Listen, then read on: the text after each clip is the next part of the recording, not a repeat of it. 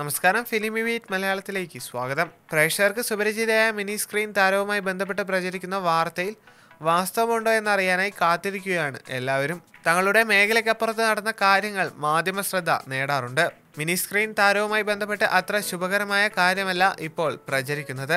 സാമ്പത്തിക പ്രതിസന്ധി മറികടക്കുന്നതിനായി താരവും അമ്മയും വ്യാജ നോട്ടടിച്ചെന്നും സംഭവവുമായി ബന്ധപ്പെട്ട് ഇവരെ പോലീസ് അറസ്റ്റ് ചെയ്തെന്നുമുള്ള റിപ്പോർട്ടുകളാണ് ഇപ്പോൾ പുറത്തു വന്നിട്ടുള്ളത്. മഴവിൽ മനോരമ ഫ്ലവേഴ്സ് തുടങ്ങിയ ചാനലുകളിലെ വിവിധ പരമ്പരകളിലൂടെയാണ് ഈ താരം പ്രേക്ഷക മനസ്സിൽ ഇടം പിടിച്ചത്.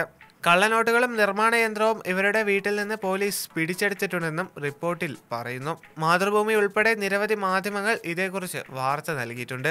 കഴിഞ്ഞ ആറു മാസത്തോളമായി ഇവർ വ്യാജനോട്ട് അടിച്ചിരുന്നുവെന്നും അന്വേഷണ സംഘം പറയുന്നു. താരത്തെയും അമ്മയും കൂടാതെ മറ്റു രണ്ടുപേരെയും പോലീസ് അറസ്റ്റ് ചെയ്തിട്ടുണ്ട്. തിങ്കളാഴ്ച രാത്രിയായിരുന്നു ഇവരുടെ വീട്ടിലേക്ക് പോലീസ് എത്തിയത്. മണിക്കൂറുകൾ നീണ്ടുനിന്ന പരിശോധനയ്ക്കൊടുവിലാണ് കള്ളനോട്ടടിക്കുന്നതിനുള്ള ഉപകരണങ്ങൾ പിടിച്ചെടുത്തത്.